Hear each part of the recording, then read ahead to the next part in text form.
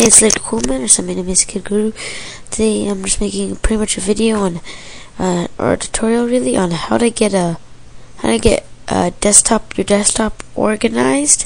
Some tips to getting it organized, as well as uh, just pretty much organization on whether it be the desktop cable clutter, um, and also how to get cool programs, uh, for your desktop and your computer. First of all.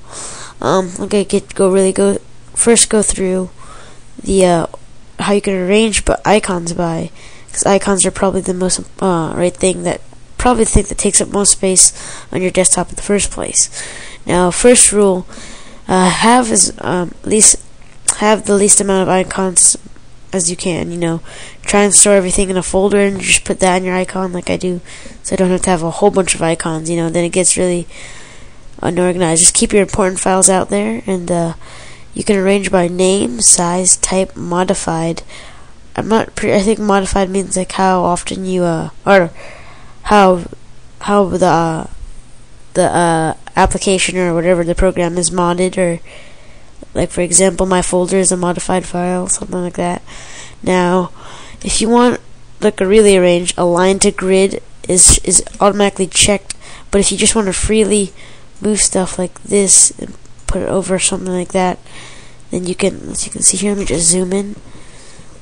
It's uh, on aligned to grid now. Let's say I hit align to grid. And it's just right there. Now let's say um, see how uh, automatically lines it to in a straight line that is in the graph paper. So, and that's uh, if I undo that, but if you have all your things like I put mine off align to grid, but when I want everything in the line, like I'll drag everything so I can drag everything around. But when I put it up there, I just hit align to grid, so it's all in the line and it looks pretty fancy. Now moving on, uh, show desktop icons. Make sure that's always checked, or else everything will be invisible. Make sure uh, locked web items on desktop aren't isn't on, and uh, as well as uh, try and if the thing is uh like too hard. Like if you have a shortcut for your control panel or something, try and rename it, and you know just cut down the thing so you don't get confused and everything. Make sure you put the uh, appropriate shortcut for whatever it is, so you know how to get into it. And you know what it is. And then uh, I'm gonna talk about Object Dock. I've mentioned it before. Probably videos can't fit anything in this, but really I'm just going over the desktop things that I have. Object Dock. You can move it. To, I can keep it. I can put it up here. I can put it down here. I can put it till uh, opposite side. You know, it's on the right right now, but you can customize the dock itself, the background, the transparency, the icons, and it's really simple. I can just drag icons onto it and just drop them in there, and it'll just go there. And you know, I can put separators for the important stuff, my folder, local C disk, computer, docs, pictures, etc. My programs, and then just wincustomize.com config dock, uh, date, second and time. Should actually move that there. And then uh, really cool, it's called Object Dock. You can download that on Google. Let's type in Object Dock download, or you can type in even StarDock, Starcade. It's uh, a lot of things you can get to get. It's, it's pretty common uh, download. And uh, if you like, if you see my theme down here, it's a black and orange. Now, it'd be harder. You can customize it yourself, but this theme is the Zune theme.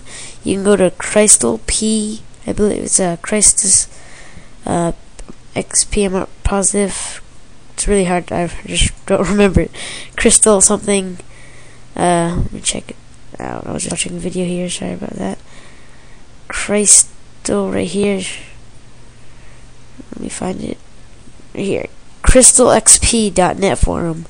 That's CrystalXP.net forum. I'll go back. Uh, I'll give links to that in the video description, and go type in Zune theme, or you can just go to Google, type in Zune theme and um, another way to get organized is hotkeybind.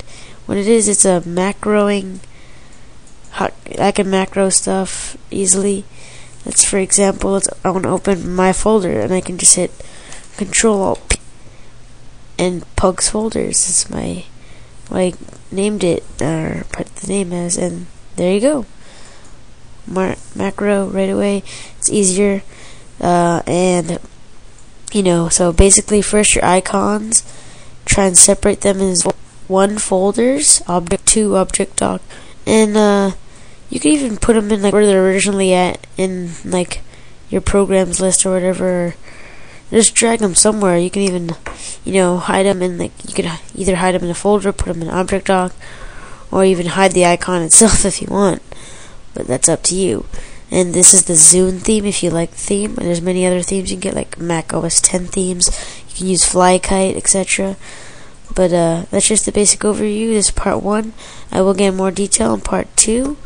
Uh, uh, I will get more detail, so please comment rate the video, and uh, if you can, send me a video response of your desktop and how it looks. But I will be making a part two on these programs and more programs that can help you organize. Anyways, thanks for watching.